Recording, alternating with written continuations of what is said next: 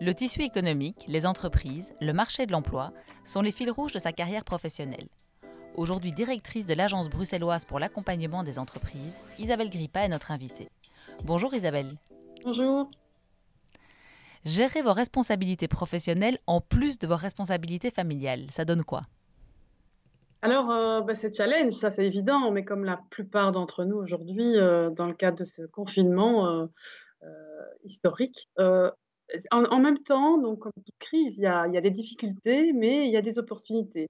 Alors au niveau, au niveau difficulté, il y a clairement, ben voilà, je, suis une maman et une belle maman de six enfants, et donc je, dois pouvoir jongler entre les, urgences, répondre à la crise économique et, aussi à l'inquiétude des enfants. Cette période est assez angoissante, loin de leurs copains, loin de leurs écoles. Euh, néanmoins, je m'estime extrêmement privilégiée parce que cette crise et ce, confinement en télétravail a rendu très visible l'inégalité euh, de la parentalité. Euh, on voit bien ces situations de, de familles monoparentales dans la détresse et donc ça a mis en lumière cette inégalité. Alors l'opportunité, c'est par ailleurs que les codes de l'entrepreneuriat et les codes du travail sont construits et c'est des siècles de domination qu'ils ont voulu, comme ça, construits socialement et culturellement sur base de schémas masculins. Et ces schémas, notamment, mettaient en, lumière le fait que le monde du travail devait être complètement séparé de la famille et, que les, figures héroïques du monde professionnel étaient ceux, parce que au départ c'était exclusivement quasi des hommes, ceux qui quittent justement leur cocon familial pour faire carrière. Alors, ce confinement a quand même brisé ce genre de tabou. Aujourd'hui, euh, tout le monde, y compris euh, les directeurs généraux, les directrices générales, on se retrouve à devoir euh, gérer en direct nos enfants. Et, ça, c'est une, une, opportunité pour aussi briser ces tabous-là et peut-être changer de code aussi dans le cadre du monde du travail. Isabelle Grippa, vous parlez d'un redéploiement de l'économie et non d'une relance. Pourquoi ce choix sémantique? Oui, alors c'est un choix euh, sémantique qui n'est effectivement qui n'est pas un hasard. Mais euh, il faut rendre à César ce qui appartient à César, c'est un projet du gouvernement bruxellois.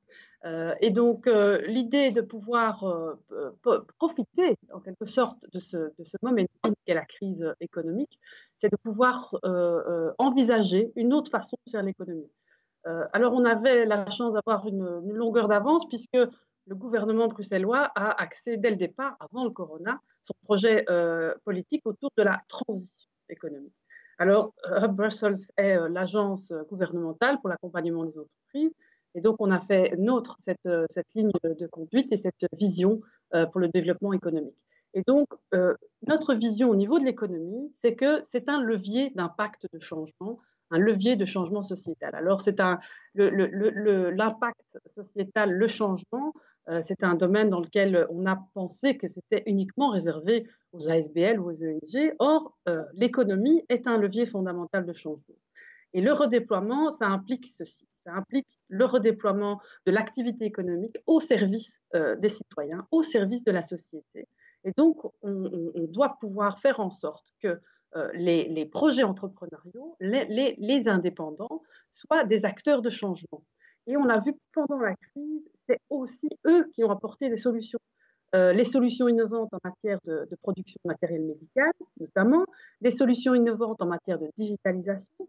Euh, ces solutions qui nous ont permis de traverser la crise viennent des projets entrepreneuriaux. Selon vous, quel rôle peuvent jouer les services publics dans cette ambition de redéploiement de l'économie? Alors, ils ont un rôle fondamental euh, et en fait, il est, il, est, sur trois volets en fait, le premier volet, c'est la stimulation.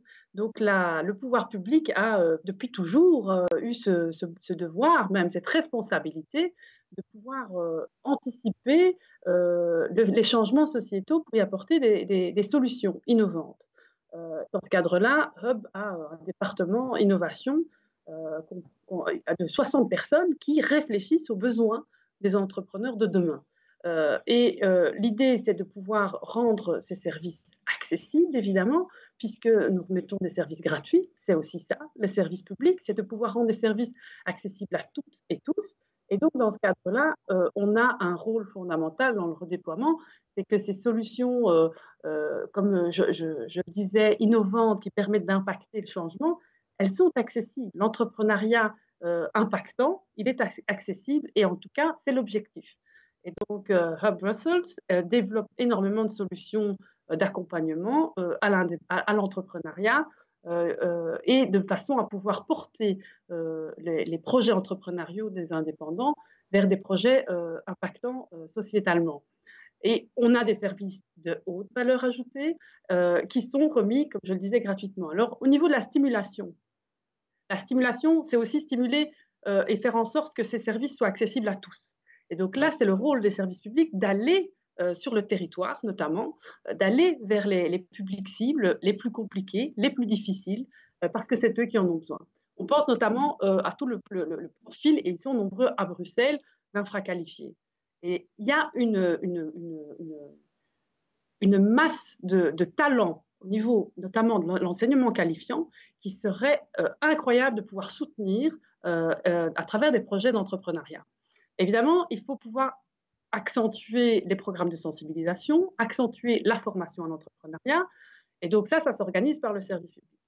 Euh, c'est le service public qui est financé par le contribuable pour aller euh, chercher les talents euh, là où ils sont, de façon à assurer l'équité. C'est-à-dire, l'équité, ça veut dire on ne part pas tous du même endroit, mais on a droit aux mêmes choses. Et pour ça, évidemment, on, on adapte les services en fonction des besoins.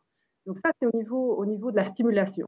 Alors au niveau, au niveau du de la politique du gouvernement, c'est les services publics qui sont en charge de pouvoir mesurer euh, l'impact de l'économie et de pouvoir apporter des recommandations au gouvernement.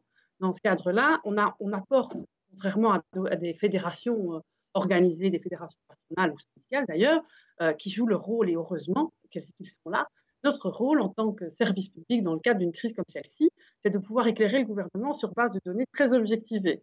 Euh, et donc, on organise des analyses, on monitore. Donc, c'est une mission qu'on a de monitorer l'impact de l'économie, euh, du corona sur l'économie et de remettre des recommandations euh, au gouvernement. Alors, on a aussi un rôle important, c'est de pouvoir assurer aussi l'attractivité de, l'économie au niveau international.